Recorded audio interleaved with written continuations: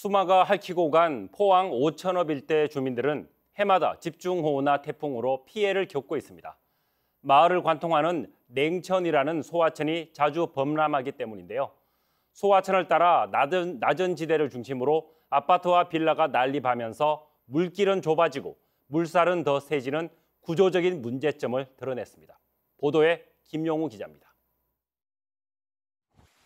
엄청난 폭우로 소하천이 범람하면서 제방은 쓸려나갔고 아파트 바로 앞까지 집안이 깎여나가 보기에도 위태롭습니다.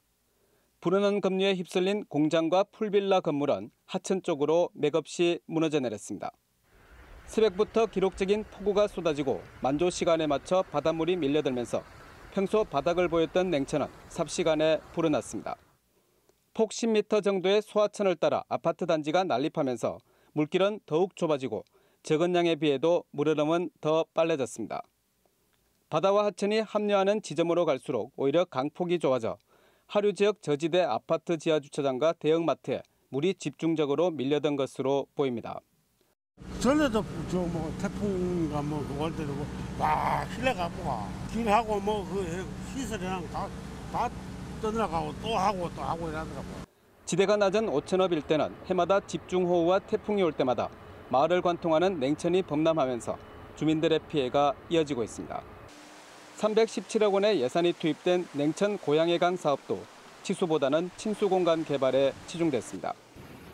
상류지역인 항사리에 소규모 댐을 건설하는 방안은 논의만 무성할 뿐 자연재해 최소화를 위한 대비는 미흡했던 것으로 드러났습니다. 온다고 예상이 되면은 차를 지하 주차장에서 빼내라.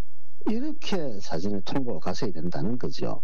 그런 매뉴얼이 없었다는 거죠, 이번에. 포괄적으로 포항시가 거기에 대한 재영향 평가를 제대로 했냐, 라는 걸 따져봐야 되겠죠. 기후변화에 대비해 하천 정비와 치수 공간을 다시 설계하고 지하 구조물에 대한 재난 대응 매뉴얼 개발이 절실하다는 지적입니다. TBC 김용우입니다.